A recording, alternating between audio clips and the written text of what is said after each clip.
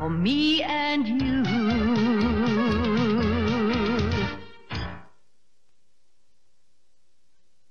Long ago, when Herod was king of Judea, Mary was about to marry Joseph in Nazareth.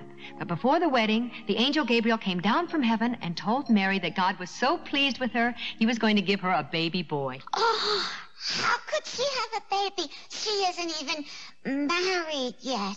The angel Gabriel said the Holy Spirit would put the baby in her womb and would be called the Son of God. Mary worried. Will Joseph still want me for his wife? I will tell Joseph, replied Gabriel. He will understand. But Joseph was upset and decided to call off the wedding. Oh. After all, he knew the baby wasn't his. The angel told Joseph, Don't be afraid to marry Mary. She has been chosen by the Lord to have his son Jesus, who will be holy and save the world from its sins. So Joseph took Mary to the temple. Did he marry Mary? Marry Ma- Ma- um? d- Did he? Uh huh. And they set out for Bethlehem a little while later.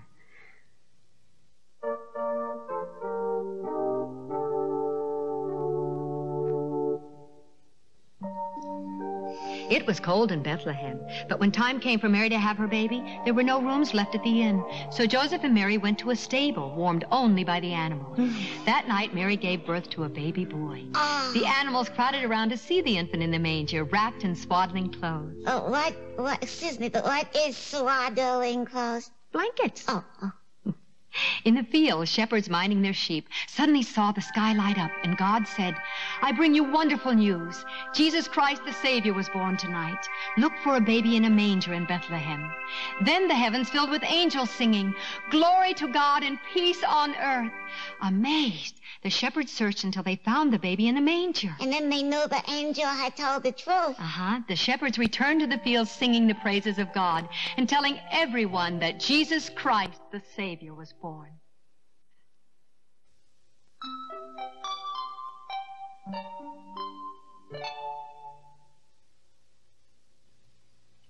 After Jesus was born, three wise men traveled to Jerusalem asking everyone, Where is the baby Jesus born to be king of the Jews? His star is in the east.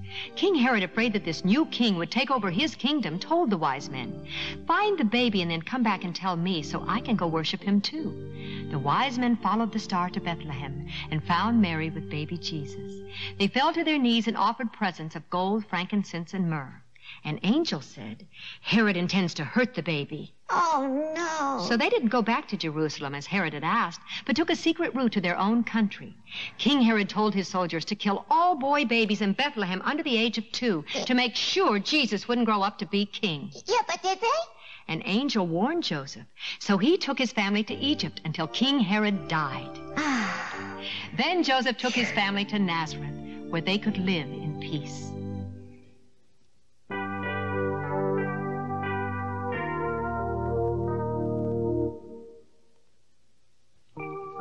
Joseph and Mary took baby Jesus to a temple in Jerusalem to be blessed by the Lord.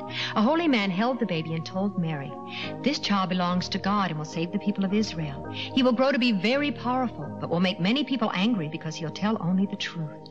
One day, something will happen that will make you very unhappy. Amazed, Joseph and Mary went home. Twelve years later, Joseph, Mary, and Jesus went to Jerusalem for Passover dinner. Afterward, they set out for home in a caravan with so many people, it was a whole day before anybody noticed that Jesus was gone.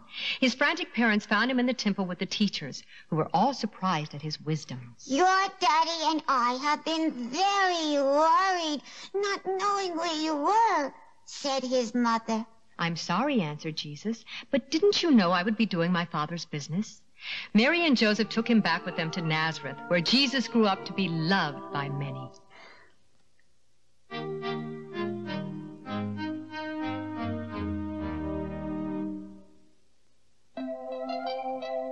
Long before the birth of Jesus, the prophet Isaiah predicted that a man would appear to prepare the world for the Lord's arrival. Jesus was about 30 when it happened. What happened? A man named John baptized people in the River Jordan and told them to confess their sins. He said, He who has two coats, let him share with one who has none. And he who has food, let him do the same. Well, people thought John was the one for whom they'd been waiting. Yeah, sounds like it. But John said, There is another man wiser than I. I baptize you with water, but he'll baptize you with the Holy Spirit and fire. Then Jesus came to be baptized. But John knew who he was and said, It is you who should baptize me. Jesus insisted, so John baptized him. The heavens opened wide. The Spirit of God landed like a dove on his shoulder. And a voice from heaven said, This is my beloved Son, in whom I am well pleased.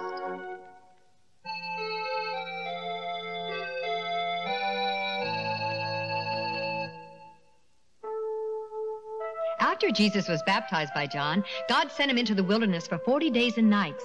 There, Jesus had nothing to eat. And he was hungry. Suddenly, the devil appeared and said, If you're the Son of God, why don't you turn these stones into bread? Then you'll have plenty to eat. But Jesus wasn't fooled. A man doesn't live on bread alone, he replied. The Word of God is just as important. Well, the devil didn't know what to say to that. So he put Jesus on the high roof of the temple, saying, Since you're the Son of God, jump off the roof and see if your Father catches you. But Jesus smiled. No, it is wrong to test God's love. You must have faith in him. Now, the devil knew if he could tempt Jesus, he could win over the rest of the people. So from the highest mountain, he showed Jesus all the kingdoms of the world.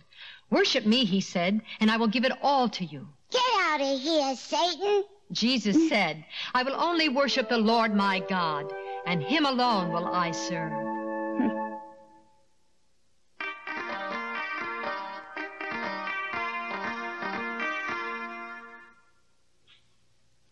One day on the shore of a lake, crowds gathered to see Jesus cure the sick and speak the word of God.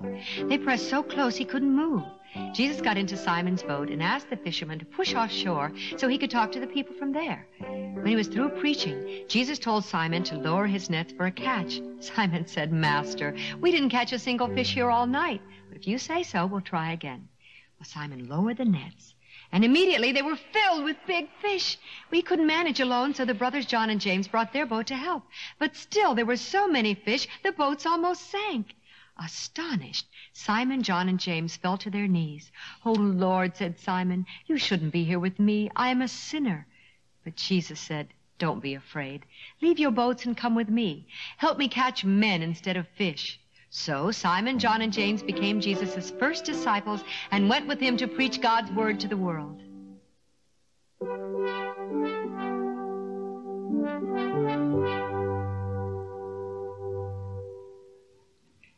As Jesus traveled, his disciples followed him. He called 12 of them apostles and gave them power to heal the sick, forgive sins, and spread his teachings. There was Simon, whom Jesus renamed Peter, his brother Andrew, James and John, Philip, Bartholomew, Thomas, and another James. Also Thaddeus, Matthew, and Simon the Patriot. Then there was Judas Iscariot, who would later become a traitor. That's bad, huh? Jesus taught the apostles a new way of thinking.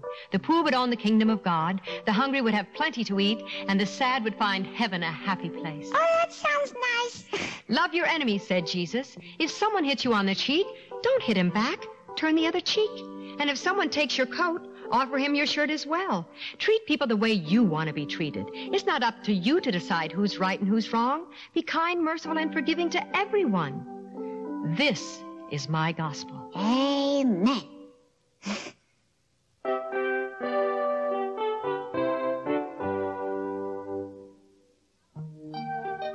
In Galilee, Jesus and his disciples were invited to a wedding.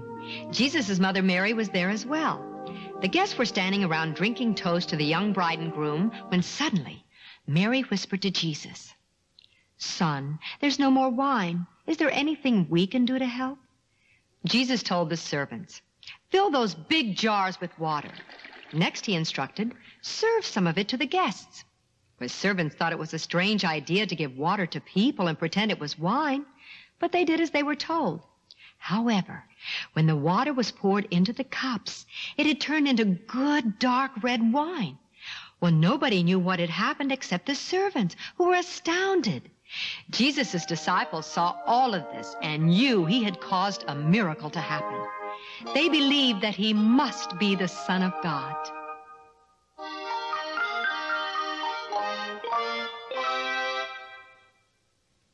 Jesus told the people of Nazareth, where he'd been raised, that he'd been sent by God to help the poor and cure the sick. But they all knew Jesus. Isn't this Joseph's son, they said? Yeah, what makes him so special? Jesus said, Because you watched me grow up, you can't take me seriously. No prophet is ever welcome in his own country. But the prophets of old told you to wait for me. Now I'm here and you refuse to believe.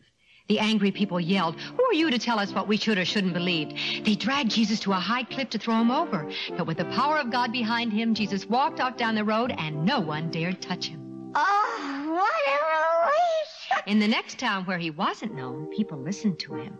But one man shouted, Have you come to destroy us? Well, Jesus knew that the devil was hiding in the man and called, Be silent, come out of him. The evil spirit ran and the man fell. Now word spread all over Israel that Jesus had great powers.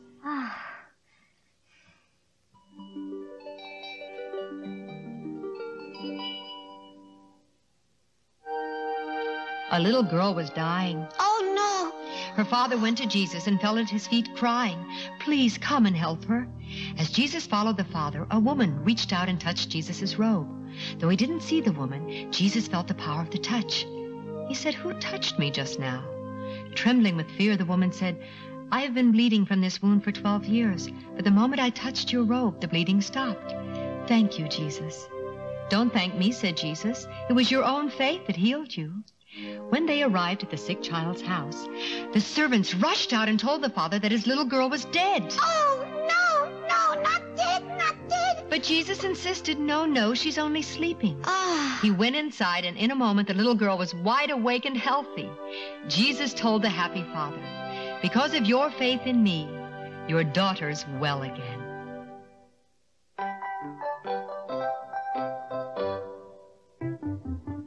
One day, Jesus and his disciples went up into the hills, followed by 5,000 people.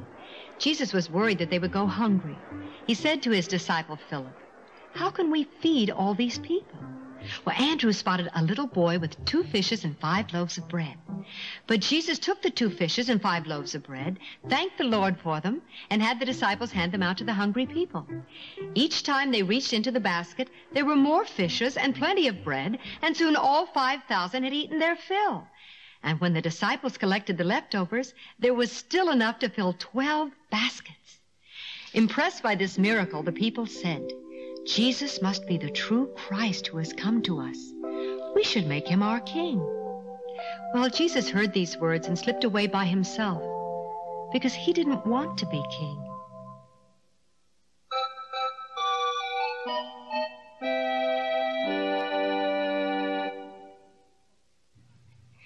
Jesus told his disciples to row their boat across the Sea of Galilee, and he would meet them later on the other side. He climbed into the hills to pray to God. But when he looked out over the water, he saw that the men were rowing against the wind. Oh. They were only halfway across by dark and so tired.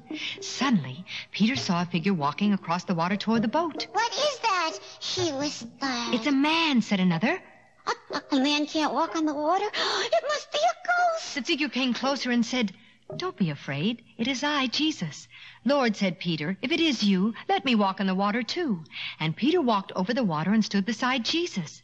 But then Peter looked down at the waves under his feet and got scared. I'm sinking, he said. Immediately, Jesus took Peter's hand and stopped him from sinking.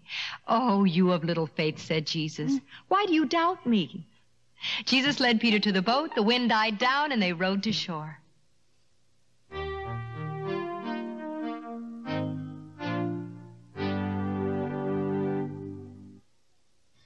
Does the Bible tell you what you have to do to get to heaven? Huh? Yes, Lamb Chop. It says you must love God with all your heart and your neighbor as yourself. What neighbor? Jesus told this story about that. Oh, good. A traveler was beaten by robbers who left him half dead. A priest saw the bleeding man but didn't stop. Another passerby didn't want to be troubled either. But a man from Samaria tore his own robes to make bandages and carried the man to an inn. He gave them money for room and food. Take care of this poor fellow until he's well, said the Samaritan, and if it costs more, I'll pay you when I return. Lamb Chop, Y- yes, yes. which of these three men do you think was a neighbor to the traveler? It was the good guy who tried to, the. Samaritan. Tin, tin him, tin him. and Jesus said, You do the same for others. Gotcha.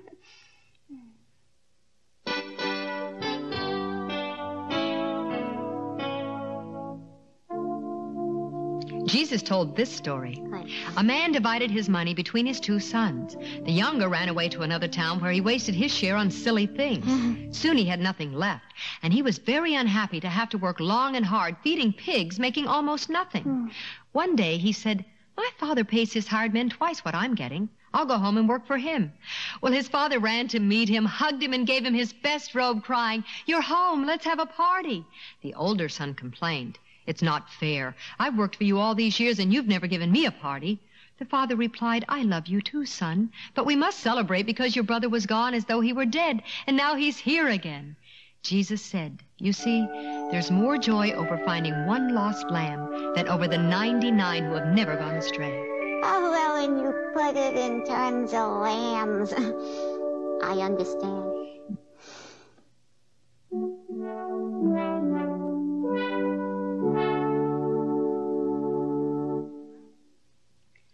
When Lazarus became really sick in Bethany, his sisters Mary and Martha sent a message to their friend Jesus, who was in another town preaching, to mm. ask for his help. Jesus said, I will save Lazarus from death and show the power of the Son of God at the same time. But Jesus' disciples cried, The Pharisees and high priest in Bethany think you're a fake, Master. They will stone you to death. Jesus wouldn't listen. Outside of Bethany, Mary, Martha, and a crowd of mourners met Jesus and told him that Lazarus had died four days before and was buried in a tomb. Show me where he's buried, said Jesus. So they opened the tomb, and Jesus shouted, Lazarus, come out. To everybody's astonishment, the dead man appeared as alive and healthy as anybody. That is astonishment. thing. Oh, it's another miracle, isn't it? Some of the mourners fell to their knees to worship Jesus, but others, frightened, ran to the Pharisees and high priests to tell what they'd seen.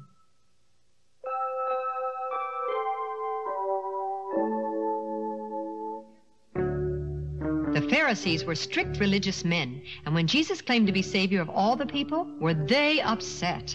When people began to follow Jesus instead of the Pharisees, oh, they really got angry. They complained to the priests.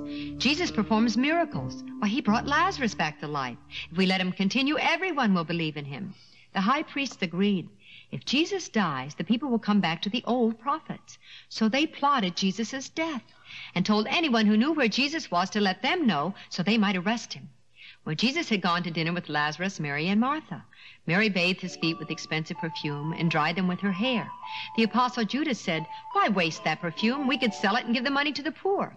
Mind you, Judas didn't really care about the poor. Yeah, he wanted the money for himself. But Jesus said, Let her be. You will always have the poor. You won't always have me.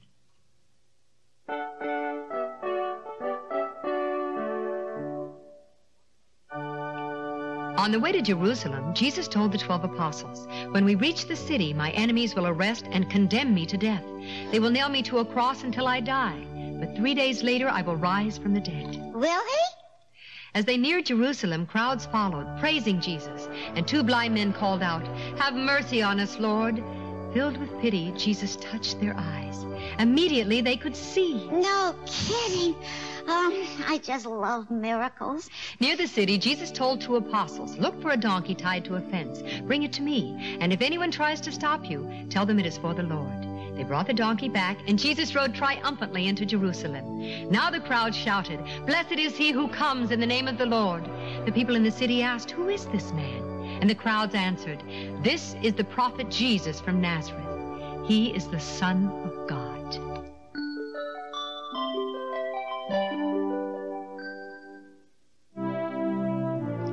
Alarmed at Jesus' popularity, the priests and Pharisees were plotting to kill Jesus. But before they could think of a plan, the apostle Judas Iscariot made the high priest an offer. Give me 30 pieces of silver, and I'll hand Jesus over to you.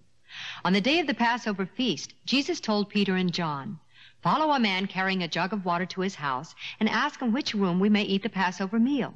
There you must prepare the supper. Later, Jesus sat with his disciples at the table and said, One of you is going to betray me. They each cried, Oh, Lord, will it be me?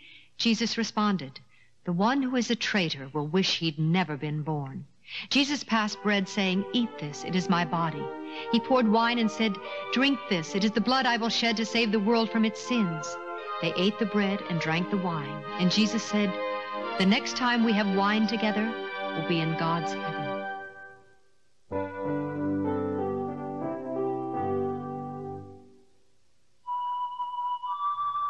After Passover supper, Jesus walked with his disciples in the garden at Gethsemane. Tonight, he said, You will all desert me. Peter said, I'll do it. Nuh-uh, said Peter. Even if the others run away, I'll stick by you. Jesus replied, Peter, before the rooster crows at dawn, you will swear three times that you don't know me. But Peter insisted, I will stay with you, even if it means dying. Peter, John, and James saw Jesus trembling. I am troubled because of what is about to happen, he said. Keep watch with me. Jesus prayed, Father, please don't make me go through this terrible thing. I'll do it if that's what you want, but I'd rather not. Jesus saw that the three disciples were asleep. Hey, wake up, you guys! He prayed again for strength to bear the suffering he would soon face. The disciples were still asleep. He prayed a third time, then awakened them, saying, Watch now, and you will see the Son of God captured by sinners. No. The time has come. Look.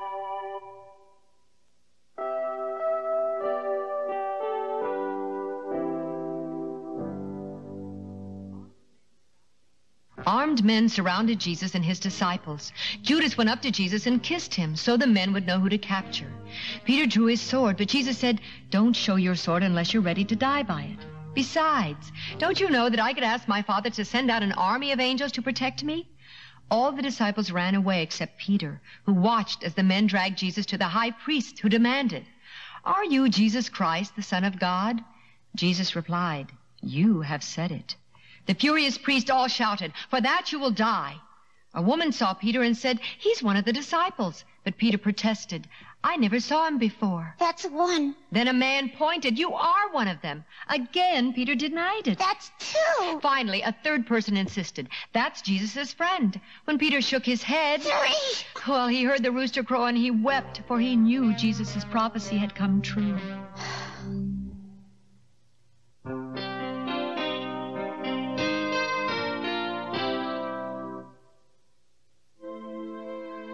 Declared guilty by the high priest, Jesus was taken to the palace of Pontius Pilate, the Roman governor of Judea. Pilate said, If this man's broken the law, you punish him. Well, the priest insisted, It's against our religion to kill a man.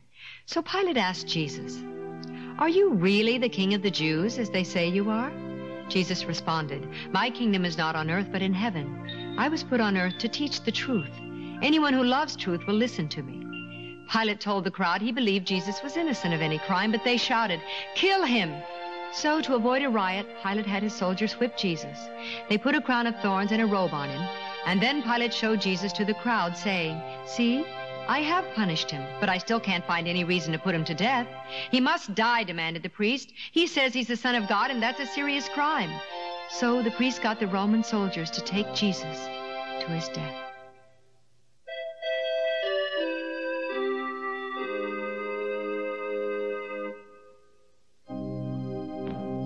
The soldiers made Jesus and two robbers each carry a big wooden cross through Jerusalem.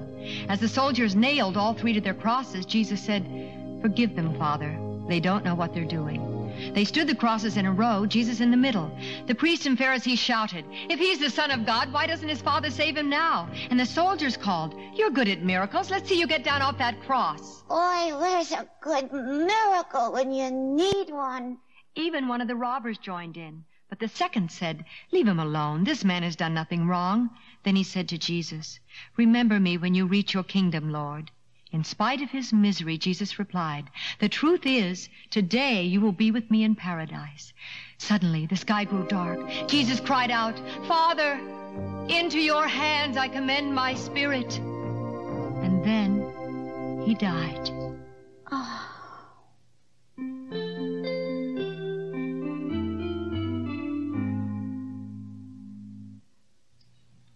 After Jesus died on the cross, a loyal disciple named Joseph got Pilate's permission to remove the body from the cross.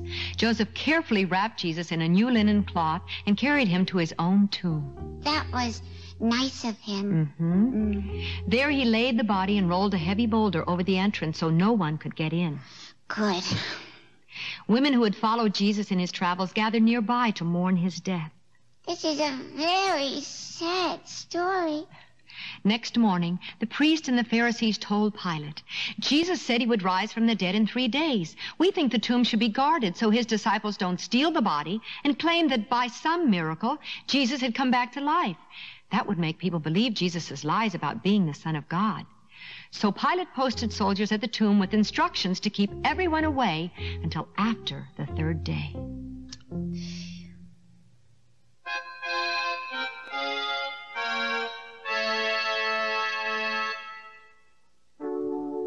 On the third day after Jesus was crucified, as Mary Magdalene and another woman approached the tomb, an angel, glowing like lightning, rolled the boulder away from the door of the tomb.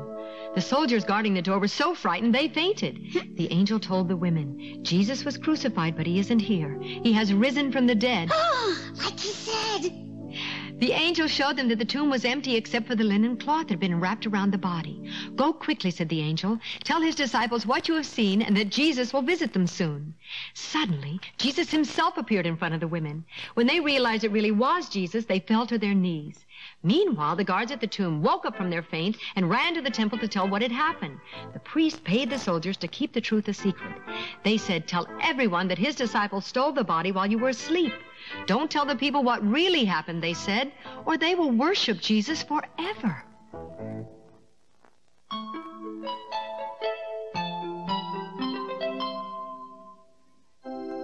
When Mary Magdalene told the disciples about Jesus rising from the dead, they thought she was making it up. Peter and John looked and found the tomb open and the body gone. John now believed, but Peter wasn't sure. That night, the disciples met and talked about what had happened. Suddenly, Jesus was there, and they all trembled, thinking he was a ghost. Jesus said, Why can't you believe I'm really here? Look at the holes the nails made in my hands and feet. Touch me. Ghosts don't have warm skin as I do. I told you many times that I would be crucified and that on the third day I would rise again and walk with you. And I have taught you that love and forgiveness should be preached to the people of the world. Now it is up to you to spread the word. But Jesus blessed his disciples, and then he went up to heaven. With joy in their hearts, the disciples returned to Jerusalem and thanked God for letting them know Jesus.